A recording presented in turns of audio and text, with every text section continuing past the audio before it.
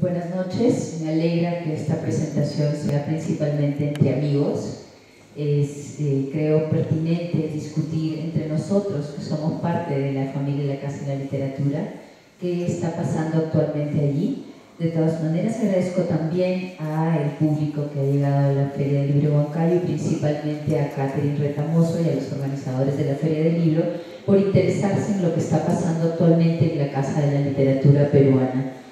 Eh, seguramente muchos de ustedes saben que la Casa de la Literatura fue formada, eh, fue inaugurada en octubre de 2009 como parte de eh, un programa, este, digamos, una política del segundo gobierno de Ana García, que este, inauguró tres espacios similares con el nombre de casa. La Casa de la Literatura, la Casa de la Gastronomía y la Casa de la Música.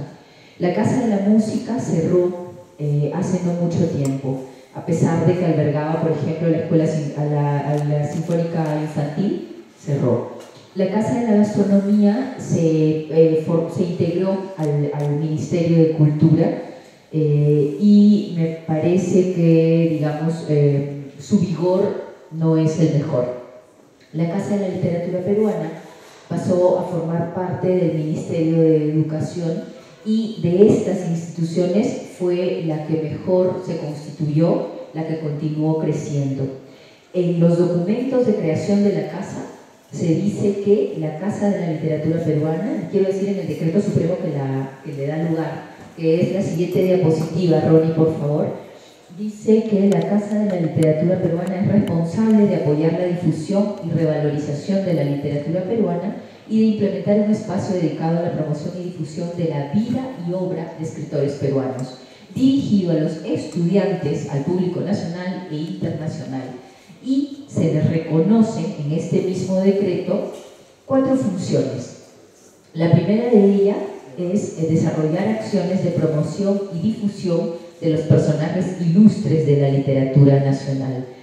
Este objetivo, esta función, esta tarea se tradujo, vamos a pensarlo más o menos, en eh, todo el cuerpo de conferencias, congresos y coloquios que este, son parte de la programación regular de la casa, ¿no?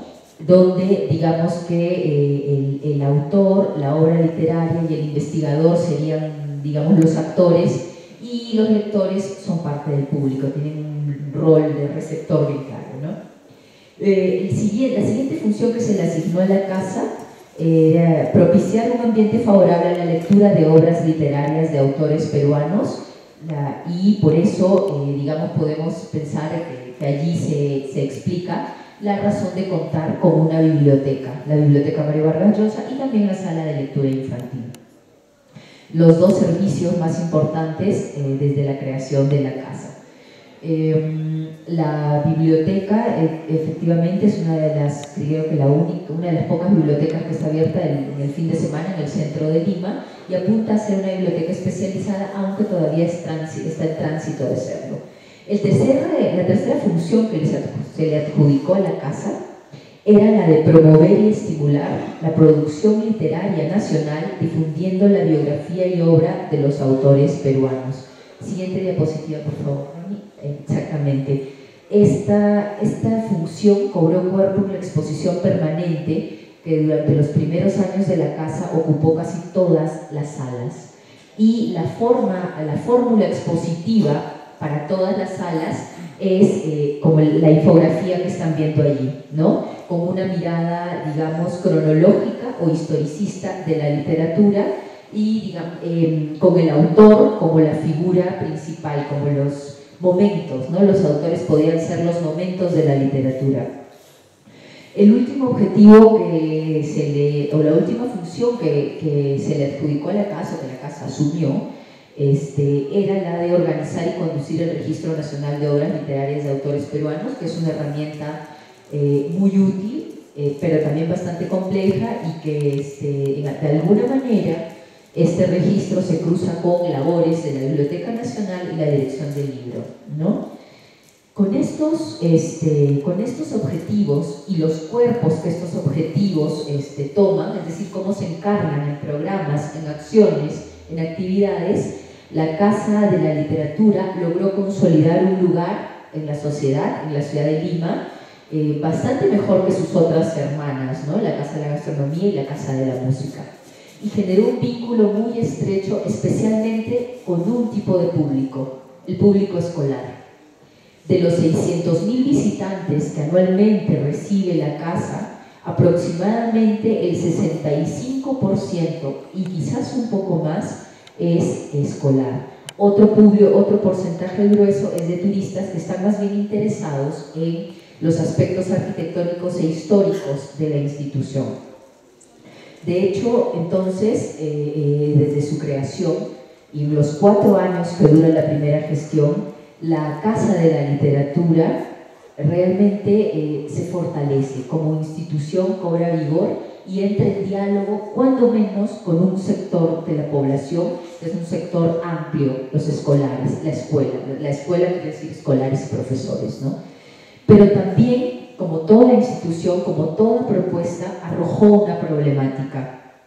A mi modo de ver, a modo de ver del equipo que actualmente eh, trabaja en la Casa de la Literatura Peruana, algunas de las, características de esta problemática, algunos costos, digamos, de este modo de pensar la institución, es que eh, el primero de ellos, me parece a mí, se omitió la reflexión en torno al lector.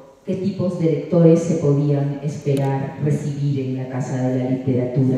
Y se eligió principalmente a un solo interlocutor, que era el público escolar, los niños, los adolescentes. Otros lectores quedaron de lado, por ejemplo, los especialistas, los investigadores quedaron un poco de lado, salvo en el lugar de conferencistas. Los lectores no iniciados o los jóvenes que, no, que, tienen, que, espontáneamente van, que ya no los conduce su maestra, o los padres de familia quizás, ¿no es cierto? Hay muchísimos tipos de lectores que no necesariamente tenían, eh, podían generar, sostener un diálogo fluido con esta muestra eh, permanente eh, que principalmente utilizaba esta misma idea que tiene la escuela. La literatura es la historia de la literatura, ¿no es cierto? Empieza con las leyendas, luego llega la conquista y entonces están las crónicas y etcétera, etcétera, ¿no? Un segundo, eh, digamos, una segunda problemática que podemos identificar, perdón, es público escolar principalmente a quien se dirigió el trabajo. Una segunda problemática que identificamos es que eh, el rol de investigación de la Casa de la Literatura Peruana no estaba definido. Fíjense que es bien extraño que el Estado invierta en investigación. No es usual que el Estado peruano invierta en investigación y en este espacio donde efectivamente había, hay un equipo de investigación, la definición de su tarea no estaba del todo clara estaba quizás eh, definida en función del público escolar, producir este, contenidos para la escuela, más no, por ejemplo, en su relación con los otros investigadores, con la academia misma, ¿no? como otros centros culturales o museos que, por ejemplo, eh, albergan investigadores y a su vez albergan un equipo que traduce la investigación en contenidos para públicos diversos, ¿no? Eh, digamos, los, los lleva en formato de divulgación un tercer, una tercera problemática, un tercer problema, creo que todavía estamos, Ronnie, sí, por ahí no he puesto tantas imágenes, es eh, que se promovió, esto es, eh, espero sea tomado como una crítica constructiva porque es así, es así como la, pienso, eh, este montaje y este modo de trabajar con la literatura promovieron una imagen estática y acaso elitista de la literatura consolidándose la imagen principalmente de uno de los agentes, el autor, no el lector, no el editor, no el crítico. la literatura transita un circuito que la hace posible. Y si bien había, creo, por ejemplo, un boulevard este, de autores eh, que vendían sus propios libros, creo que no había una reflexión fehaciente sobre el quehacer, para citar el ejemplo, del, editor. Y bueno, además de ser el autor, la figura principal de un montaje y de un enfoque como el que eh, tenía la Casa de la Literatura, se proponía un autor lejano, difícil, eh, digamos, para acceder a él, sino es a través de una experiencia quizás este, de iniciado. ¿no? Eh, otro problema es que eh, circunscribir la mirada a la literatura a este, su cronología omitió la experiencia estética y reflexiva que promueve la literatura por sí misma. Una problemática más es que no se vinculó la literatura con otros campos de estudio ni con otros lenguajes significativos. Esto me parece es uno de los riesgos más altos que asumió eh, el proyecto anterior porque un centro cultural que no eh, apuesta a la multidisciplinariedad corre demasiados riesgos. El principal es que no puede renovar su relación con los usuarios de la institución. Eh, y una última, un, último nudo problemático que identificamos es que justamente por no pensarse de manera multidisciplinaria la institución, no vio la necesidad de crear fondos culturales, quiero decir, no eh, vio la necesidad de albergar archivos, fotografías, documentos, primeras ediciones, no sé, impresoras, máquinas de imprenta, de linotipos, de, offset, por si sea lo más actual, en fin, todos aquellos materiales este, que eh, son vestigio y rastro de la literatura como producción como circulación, como objeto cultural. A propósito, tampoco se crearon, este, se creó una infraestructura para albergar colecciones. ¿no? Nosotros no contamos con depósitos ni con ningún tipo de equipo. Estoy pensando en equipos de conservación, por ejemplo, ni profesionales. No hay conservadores, no hay museólogos, o no había, recién estamos trabajando en eso, este, que nos permitan, por ejemplo, recibir qué sé yo, este, no sé, si la familia Salazar Bondi quisiera donarnos el precioso archivo fotográfico que ellos tienen, no podríamos garantizar que este archivo va a vivir mejor en la casa de la literatura que en la casa de ellos. ¿no? Entonces, eh, una institución vigorosa, sí, durante cuatro años ha sido una institución, sigue siendo una institución vigorosa, pero que arrojaba algunos problemas que debían ser observados. Em, muy poco antes de cumplir cuatro años, el Ministerio de Educación propuso al Ministerio de Cultura que pase a ser eh, la institución que alberga la Casa de la Literatura y en, ese, eh, en esa idea que finalmente no llegó a consolidarse, eh, se plantea una nueva gestión. Em, como ustedes habrán visto, al, al iniciar pusimos junio 2013, eh, perdón, julio 2013, junio 2014, pensando casi en un balance y perspectivas, ¿no? de, casi casi un año de trabajo. Em, después de cuatro años, una institución consolidada eh, este, que quiere ser replanteada, eh, tiene resistencia, muestra sus propias resistencias, tanto desde el lado de los usuarios como al interior de la institución. Y el reto estaba en cómo ir encontrando que estas resistencias este, se vayan, eh, no sé si decir doblegando o debilitando, eh, seducir al equipo para que acepte una nueva propuesta, eh, convencer a los profesores y a los usuarios de que la casa podía dar mucho más. Em, les voy a contar más o menos una sistematización de lo que ha ocurrido en este último año no obstante, quiero ser sincera y contarles que las cosas no fueron pensadas en ese orden. Aparecieron algunas cosas en el camino y fueron dando cuerpo, permitiéndonos avanzar quizás con pasos más firmes en este nuevo proyecto institucional. En principio, un primer ejercicio fue definirnos, empezar por definirnos. Y aunque les parezca raro, la definición de centro cultural no era precisamente utilizada al interior de la Casa de la Literatura. Entonces el primer trabajo fue definirnos como centro cultural dedicado a provocar la experiencia literaria en la ciudadanía. Em, y a partir de eso definimos una visión y una misión. Em, esta es la nueva visión de la Casa de la Literatura Peruana como institución referente, esa es la palabra importante ahí, de la literatura nacional. referente quiere decir como un lugar de consulta, un lugar de hallazgo, un lugar de búsqueda, ¿no? Es el lugar de encuentro, reflexión y propuesta de escritores, investigadores literarios, pedagogos de la literatura y lectores de distintas edades y con distintos gustos y experiencias. En la siguiente, Ronnie, por favor.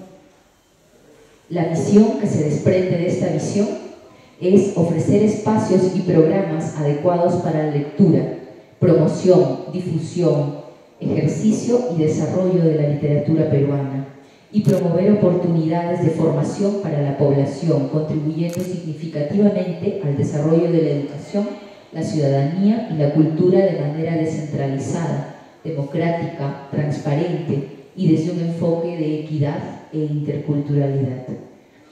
Para lograr que esta nueva, este nuevo modo de pensar y de trabajar se lleve a cabo, Creo que un momento importante fue eh, invitar a profesionales de otras disciplinas o con otras experiencias. Esto no quiere decir que el equipo cambió sustancialmente. El equipo permaneció casi en su integridad, solo que lo que buscamos fue especializar su quehacer. El área de investigación, por ejemplo, albergaba tareas de educación y de investigación Actualmente hay un área de educación y un área de investigación con tareas distintas.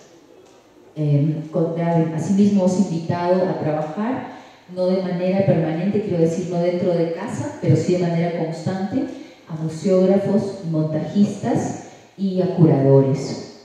Em, otro, otra eh, eh, este, propuesta u otro modo de encarar este nuevo enfoque es eh, el de definir los tipos de lectores. No sé si tipos es la palabra más correcta, pero eh, em, analizar cuáles son las formas en que los ciudadanos se acercan a la literatura, las formas y las razones, definir a nuestros lectores.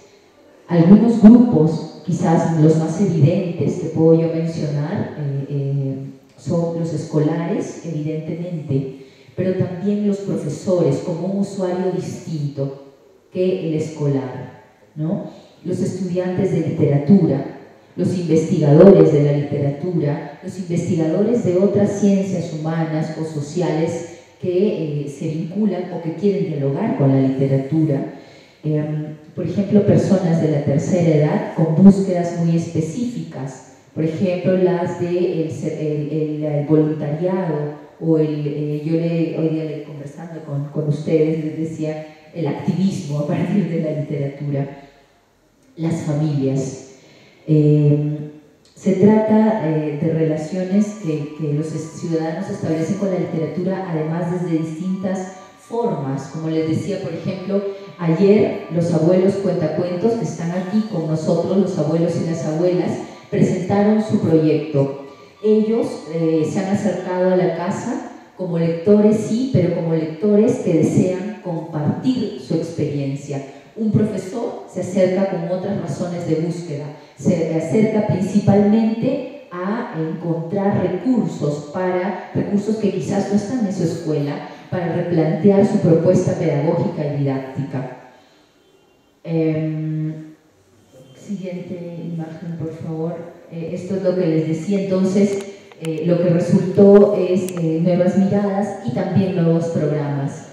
Las nuevas áreas, como comentaba, educación y museografía principalmente, los lectores como un interlocutor que hay que dibujar con claridad porque tiene necesidades y gustos específicos cada grupo, los programas nuevos, entre ellos Abuelas y Abuelos Cuentacuentos, el Club de Profesores Amigos, la residencia de teatro de cuatro tablas, el mapa literario del centro de Lima y el replanteamiento museográfico de las exposiciones temporales. Por ahora solo las temporales. Quisiera contarles brevemente, principalmente la parte de los programas.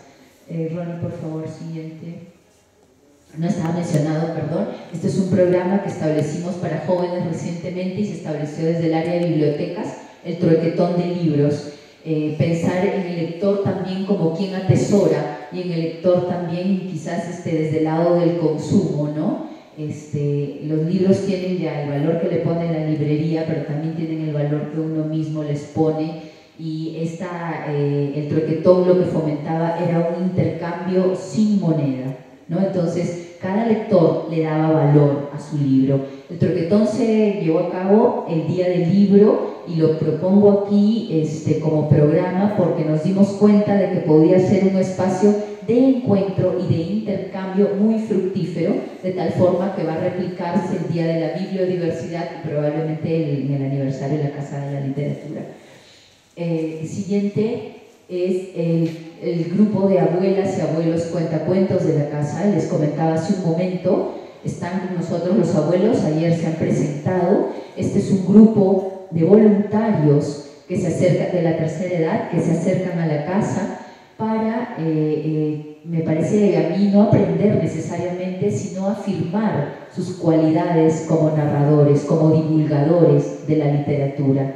Pasan en la casa una temporada de capacitación, de intercambio, y luego son nuestro, se convierten en nuestros principales agentes de descentralización y divulgación, porque ellos visitan las escuelas, los puntos de lectura para un libro, las bibliotecas y en general cualquier espacio público que demande su llegada para compartir relatos de la tradición oral peruana, pero también creo que cuentan con un acervo latinoamericano. Ayer yo escuché un relato cubano hermosísimo.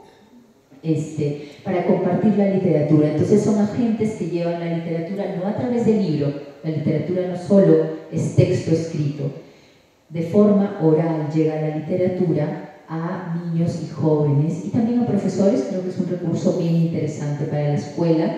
Eh, me parece a mí que aquí además es importante en el programa de Abuelas y Abuelos Cuentacuentos observar cómo una institución cultural puede generar distintos diálogos, puede fomentar distintos valores, no todos ellos tan específicos.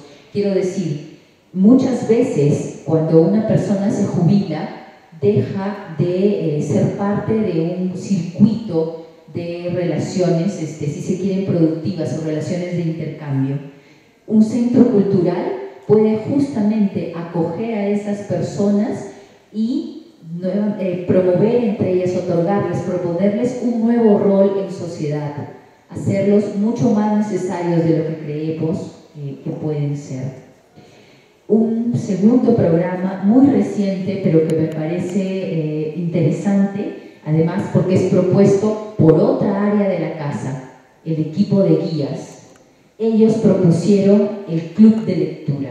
El club de lectura se lleva a cabo los sábados, propone su agenda antes a través de la web, a través del Facebook, quiero decir, dice qué libro van a comentar y los lectores llegan. Aquí no hay que ser un lector especializado, un lector iniciado, tampoco hay que haber leído precisamente. Es un lugar para conversar de manera muy libre sobre un libro elegido, todos de narrativa. Es un club de lectura de novelas principalmente. Entonces pueden, pueden ver ustedes, eh, hay lectores de toda edad. Eh, un siguiente momento, un siguiente programa interesante y quiero aprovechar para comentar que este programa, el Club de Profesores y el programa de Abuelas y Abuelos Cuentacuentos son trabajo de Ronnie Puchuri, él es profesor de la Universidad Cantuta eh, y un gran creador de programas de, divulgación, de promoción de la literatura.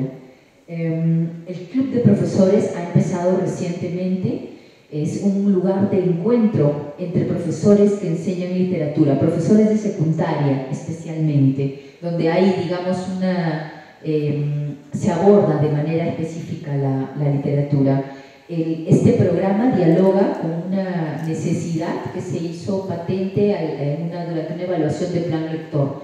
Los profesores pedían em, conversar, divulgar las experiencias exitosas, conocer cómo trabajaban otros profesores. Entonces, en este club se reúnen, si no me equivoco, 30 profesores y construyen sus proyectos de aula juntos logrando reflexionar en conjunto y compartir sus experiencias para enriquecer su propio quehacer en la escuela.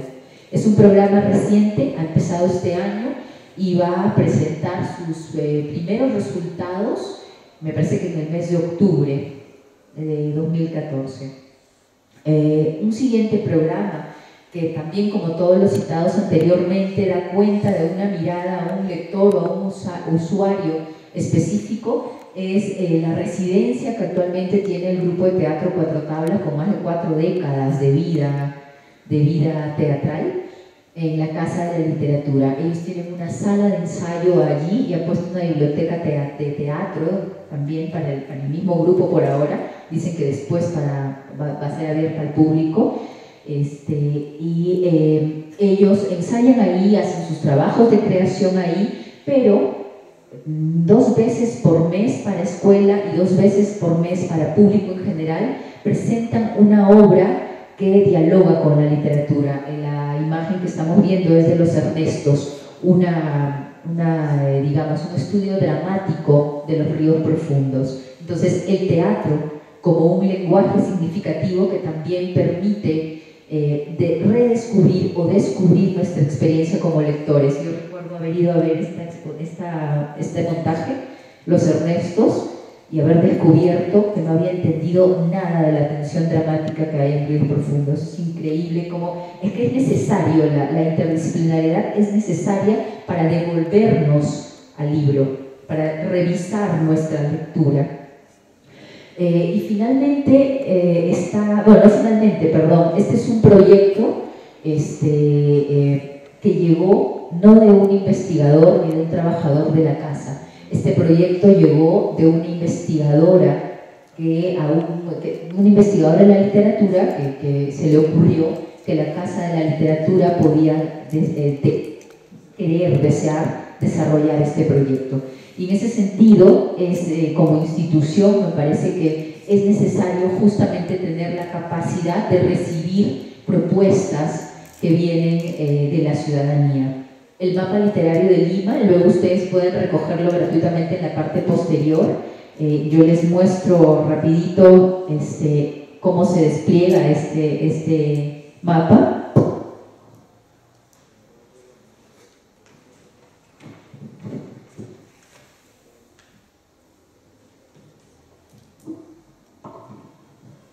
Este mapa propone recorrer el centro de Lima a través de los, mirando, prestando atención a los lugares que están citados en los poemas, en los cuentos y en las novelas de la literatura peruana, principalmente desde 1950 hasta nuestros días.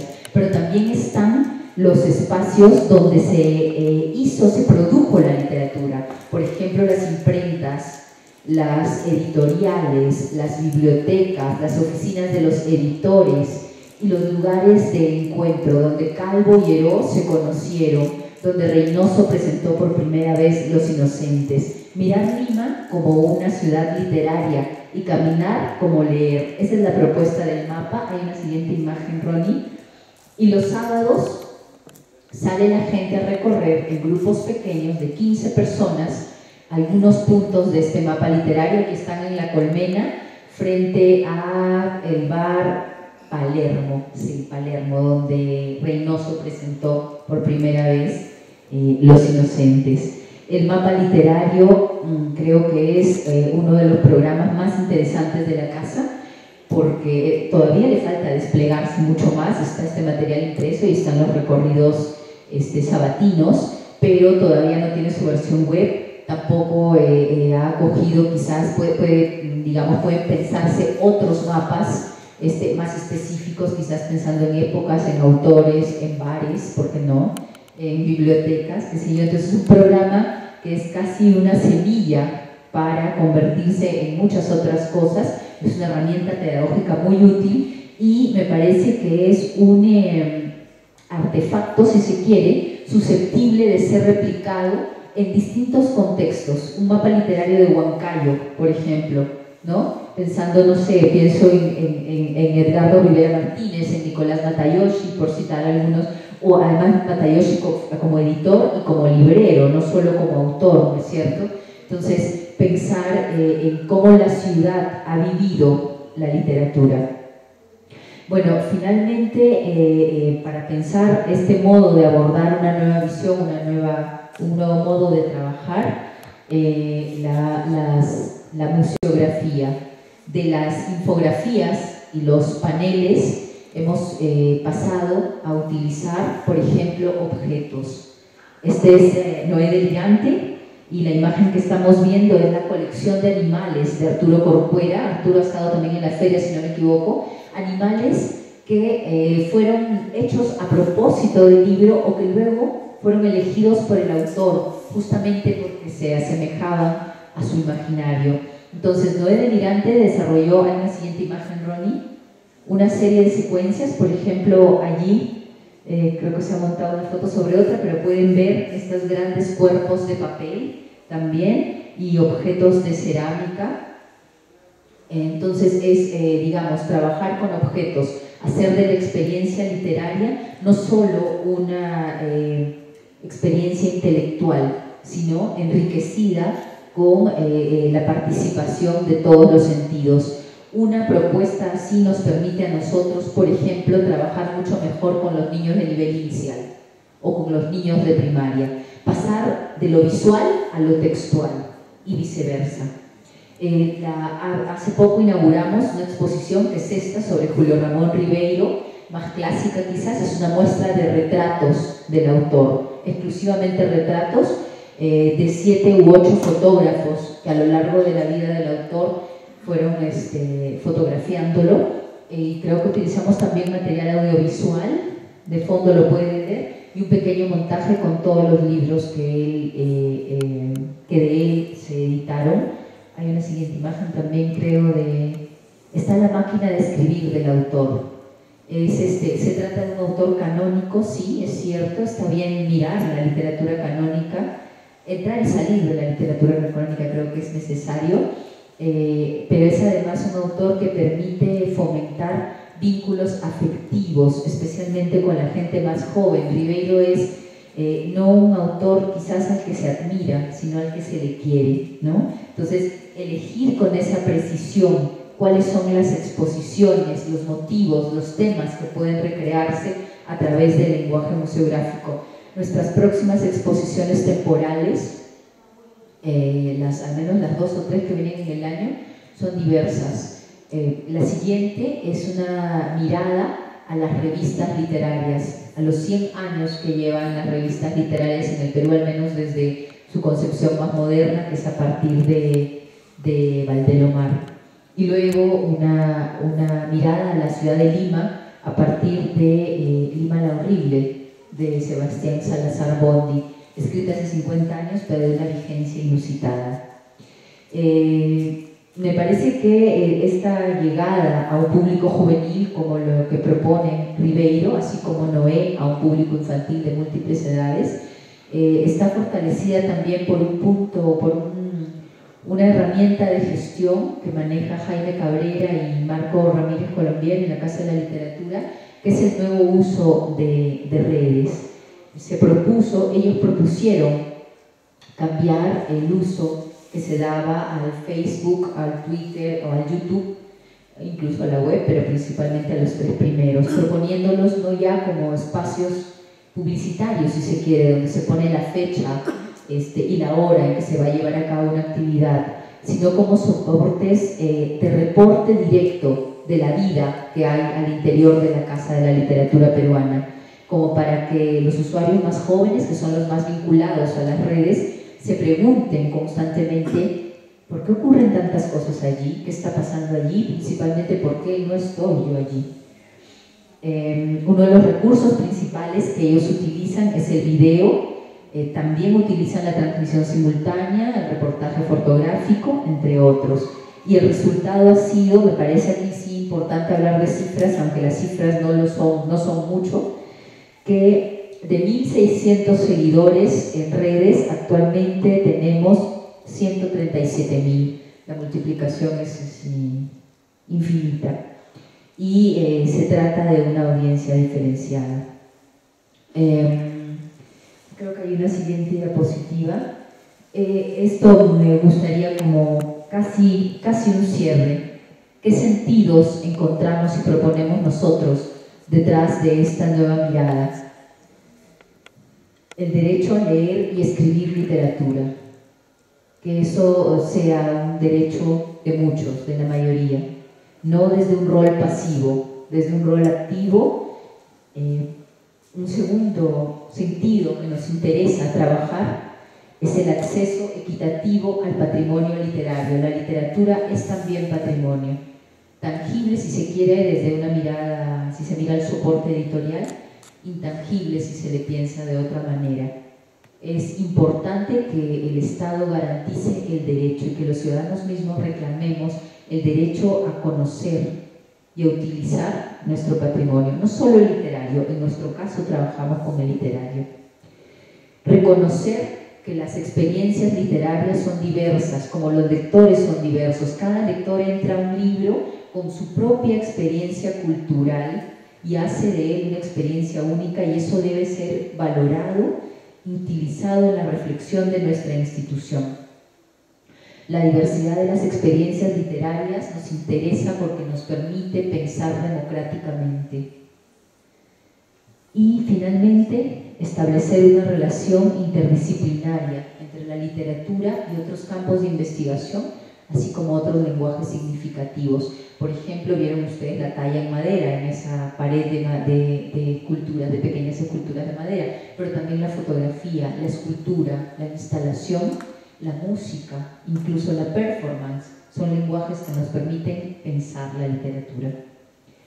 Em, creo que hay una o dos. Eh, eh, los proyectos próximos eh, son nuevas salas de lectura, en principio especializar la sala Mario Vargas Llosa, que requiere de un corpus bibliográfico mayor, em, además especializar la sala de lectura infantil, eh, pensando en cuál es la ruta que puede seguir un niño para convertirse en un lector de literatura peruana cuando llegue joven, ¿no?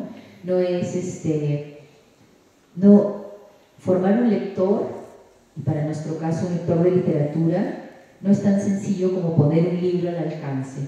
Hay que proponer modos de acercarse a la literatura. Eh, estamos planificando además un piloto de lectura digital. Estamos gestionando una donación para la Biblioteca Mario Vargas Llosa de Kindles, de este soporte para este dispositivo para la lectura, con la empresa Amazon. Esperamos que, se logre, porque sería bien interesante también trabajarlo con el público infantil. Hay una cantidad de bibliografía en digital que sería bien interesante, por ejemplo, revistas especializadas para la Biblioteca Mario Vargas Llosa. Sería bien importante contar con ellas como parte de nuestros fondos bibliográficos. Y esperemos se lleve a cabo porque este proyecto realmente está todavía en idea.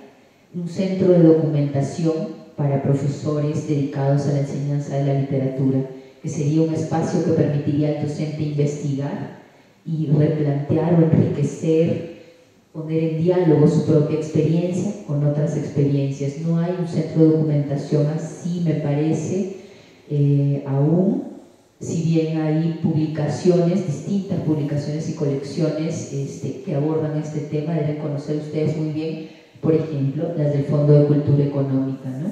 Tiene una colección maravillosa sobre eso. Eh, un proyecto próximo que ya está trabajándose es una nueva exposición permanente, que los criterios que describía yo hace un momento para la sala de Noé Delirante o la sala de Julio Ramón Ribeiro, criterios como lo interdisciplinario, como una reducción de lo textual, digamos que la, llegada al texto sea justamente algo provocado por la exposición. Principios como estos deben volcarse a la exposición permanente. No es sencillo, es difícil porque el, digamos que el objeto con el que trabaja, que es esta historia de la literatura peruana, es muy amplio, entonces requiere una investigación larga, pero el proyecto está en marcha una fecha probable de inauguración de este proyecto sea octubre, pero no lo sabemos con certeza aún. Eh, proyectos de investigación para estudiantes que están terminando, proyectos de investigación de tesis, es uno de los, de, los programas que queremos instalar para trabajar específicamente con estudiantes de literatura y promover la, este, eh, las tesis que en las universidades están cada vez este, apareciendo menos, ¿no? Eh, trabajar con literaturas en otras lenguas, también en la segunda mitad del año empieza un programa sobre quechua, que lo van a trabajar dos eh, guías de la Casa de la Literatura Peruana, inicialmente como un espacio de conversación para hablantes pasivos. En Lima hay una cantidad de personas eh, que eh, pueden entender el quechua cuando lo hablan, pero cuando lo oyen, pero ya no lo hablan. Es un hablante pasivo, ¿no? Entonces, inicialmente es trabajar con ellos para luego pasar a un trabajo eh, que aborde la tradición oral o la literatura oral. Y eh, bueno, creo que se ha reiterado algo ahí. Ah, no, continuar con programas de formación, ya hay tesis, perdón, ya hay talleres y seminarios. Este, por ejemplo, recuerdo algunos de este inicio de año, el taller de introducción a, a Vargas recientemente un seminario sobre literaturas regionales, justamente, estos espacios ya existen, pero queremos insistir en ello este, porque nos permite trabajar con eh, distintos intereses. Y eh, creo que ya no me falta mucho. Ah. no creo que, que ya solamente me queda mencionar los retos pendientes porque definitivamente hay cosas que ni siquiera nos atrevemos aún a, pensar cómo se van a llevar a cabo, porque eh, las vías aún no, no, se vislumbran. Uno de ellos es la infraestructura. La Casa de la Literatura Peruana se ubica en, la antigua estación Desamparado. Es un edificio inmenso, eh, bastante antiguo y que tiene un último piso inhabilitado es eh, una obligación considerar que un horizonte de la gestión es habilitar este nuevo piso para que la institución crezca y pueda proveer nuevos servicios. Un segundo reto que eh, se lleva a cabo realmente de una manera insuficiente es la descentralización. Si bien parte de nuestras exposiciones viajan a otras ciudades y son instaladas en otros lugares. Por ejemplo, actualmente la exposición de Rivera Martínez está en la Dirección Desconcentrada de Cultura de aquí de Huancayo y antes estuvo en Jauja. El año pasado, en octubre, se inauguró en Jauja. Entonces, las muestras viajan. No obstante, viajan tal y como se prepararon para un lector limeño. Y eso a mí me parece es una deficiencia que debemos salvar empezar a preparar materiales en diálogo con los agentes de la literatura de cada ciudad, de cada región. Es un reto que debemos llevar a cabo. Recoger la historia de las literaturas regionales también es un reto que debemos llevar a cabo y que aún no hemos planteado.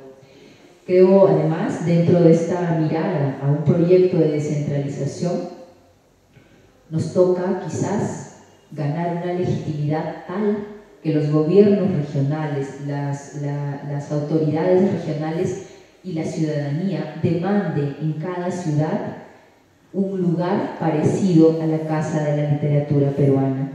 En Santiago de Chuco existe la Casa Museo César, eh, Vallejo, un lugar hermoso, eh, restaurado por una empresa minera que trabaja allí, en Santiago de Chuco, y que este, eh, es puesto en marcha, que es administrado por la municipalidad. Sí, Vallejo es la gran figura, si se quiere, de la literatura peruana. No obstante, cada ciudad tiene su figura literaria, sus figuras literarias. Es justo, es lícito, es legítimo que cada ciudad se plantee esa necesidad. Ayer Ronnie planteó lo mismo cuando, cuando comentó el, programa de abuelas y abuelos cuentacuentos? ¿Por qué no pensar también en la posibilidad de gestionar localmente programas como ese?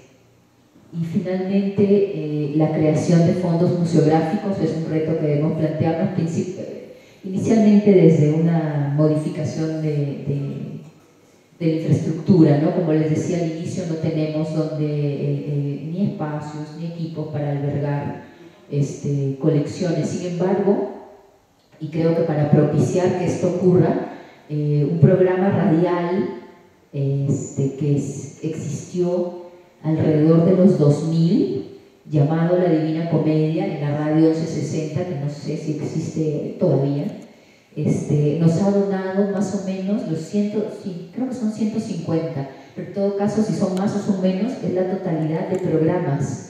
De un programa dedicado a la literatura. La totalidad de programas que ellos emitieron y que tuvieron la sabiduría de registrar y de conservar. Conservar es una tarea inmensa que no nos proponemos generalmente como sociedad. Ellos no solo registraron todo y lo pautearon, le pusieron nombre a cada cassette, ¿no? programa tal, fecha tal, sino que además conservaron ese material de manera adecuada y lo han entregado a la Casa de la Literatura para que lo digitalicemos y lo pongamos eh, a, a disposición de los investigadores, los lectores, quien quiera oír, por ejemplo, una entrevista hecha, no sé, a Javier Cercas, por ejemplo, que visitó hace poco la feria eh, Lima a propósito de la Bienal Vargas Llosa, pero hace 10 años, a ver si era igual, no era igual, que pensaba. Eh, y entonces es, es, uno de los eh, tres grandes retos, seguramente hay 10 más que, que por pudor no menciono. Bueno, muchas gracias, buenas noches.